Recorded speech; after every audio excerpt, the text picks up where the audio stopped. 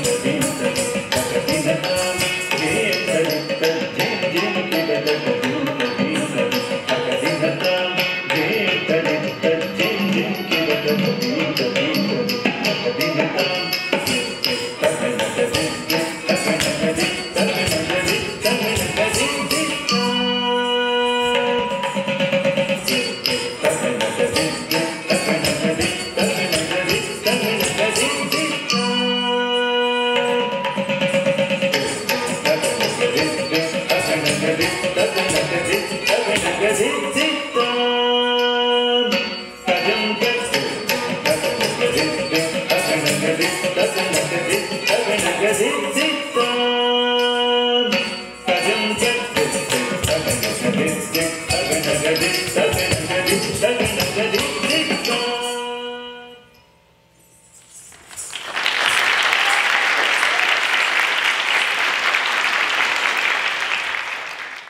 interaction with dance began quite early. Whether it was tapping my feet to Bollywood music or swaying to the tunes of Hannah Montana, it was a movement of joy. It wasn't until the summer of 2008 when my parents took me to my first Bharatanatyam class. I didn't know much about the art form, and at the age of six, not much was of interest to me but my parents urged me to give it a try. The moment I entered that small, dingy classroom at Pierce College, I felt an instant connection, this unexplainable feeling.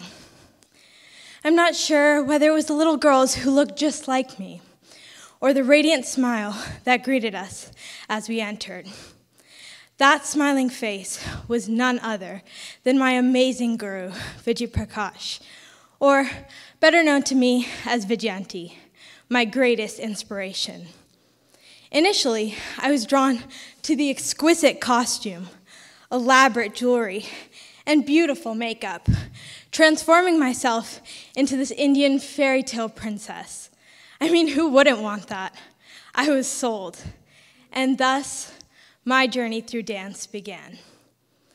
Bharatanatyam is considered one of the oldest expressions of dance, originating in South India sometime around 200 BC.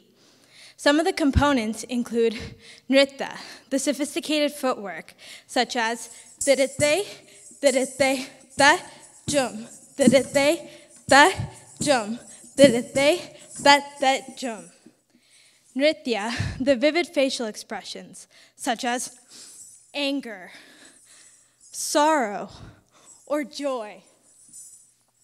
And natya, theatrics or storytelling, through the use of hand gestures such as people, a flower, eyes, a river, or a peacock, and many more, as well as ragams, the melody, and thalam, the beat.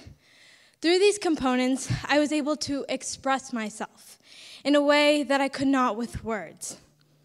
Bharatanatyam also takes inspiration from poetry and music in multiple Indian languages, as well as from the sculptures and scriptures of Hindu mythology.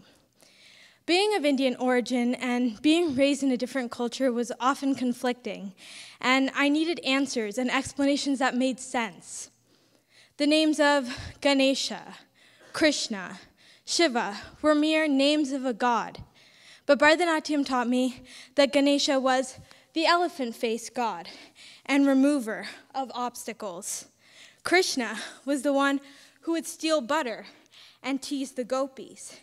And Shiva was the lord of cosmic dance who resonated in the whole world. I was able to relate with my religion and my culture. But in this day and age, we often get caught in the stress of daily life. Being the perfectionist that I am, I tend to lack confidence at times. And when I felt myself crumbling under the pressure, Bharatanatyam provided me with the opportunity to immerse myself for a few hours each day and forget about anything else. In August of 2017, I had the privilege of performing my Arangetram, or solo dance debut, in which I performed in front of a large audience for about two and a half hours. Months of training, rehearsals, private classes with my teacher, and little to no social life enabled me to connect with myself. It was such an incredible journey and humbling experience that instilled rigorous mental and physical discipline.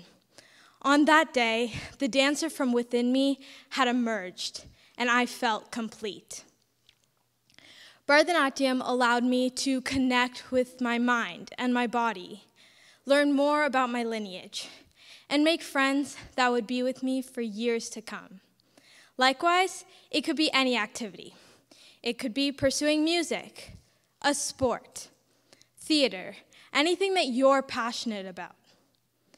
There's a saying dance is everywhere in the universe, from the stately waltz of the stars to the majestic swirl of the galaxies. It's all one master equation. For me, Bharatanatyam was that equation. So what's yours?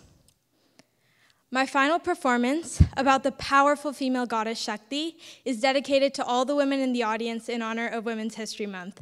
Thank you.